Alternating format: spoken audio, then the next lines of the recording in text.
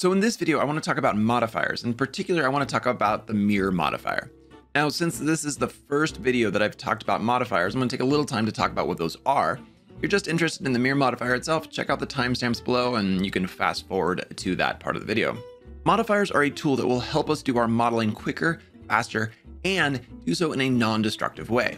And the keyword there is non-destructive. And what I mean by that is that modifiers can be turned on and off, and there doesn't permanently change the model that you're working on, which is great and super useful in terms of iterating or trying something new. So to add a modifier, we're going to select the object that we want to work with, and then we're going to come over to this little wrench here. And then in this case, there's no modifiers applied, so I'm going to click the add modifier, and you can see that there's a whole bunch of modifiers. But in this video, I want to look at just the mirror modifier. I come down here to mirror, and it gets added like so. And nothing's appeared to happen to our object, that's because it's sitting at the origin and we haven't modified it at all to use the mirror modifier.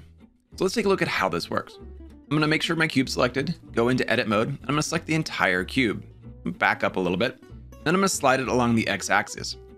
And you can now see that there are two cubes. And that's because if you look at the mirror modifier, we're mirroring on the x-axis. Now that my object is no longer on the origin, we can see both objects. If I click the Y, and then move on the Y, you can see that I actually have four cubes. If I push the Z as well and go down, you can see that we now have eight cubes. So what we're doing, should be no surprise here, given the name of the modifier, we're taking this object and mirroring it around these axes.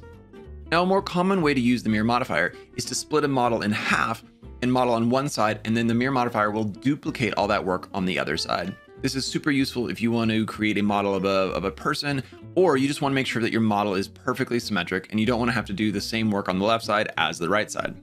So I'm going to delete this cube, create a new cube, and go into edit mode. And I'm going to do a ring cut and cut it in half, like so. And then going to select one half the cube and delete those faces. And then can add my mirror modifier, like so, and it completes the cube. Now you'll notice that only half the geometry can be edited. So I can take this one side of the cube, move it around. I could take a face, I could extrude it, scale it in, and we can do pretty much anything and everything we want. And it gets mirrored on the other side. Really, really useful for models that need to be symmetric. This can quite literally cut your workload in half.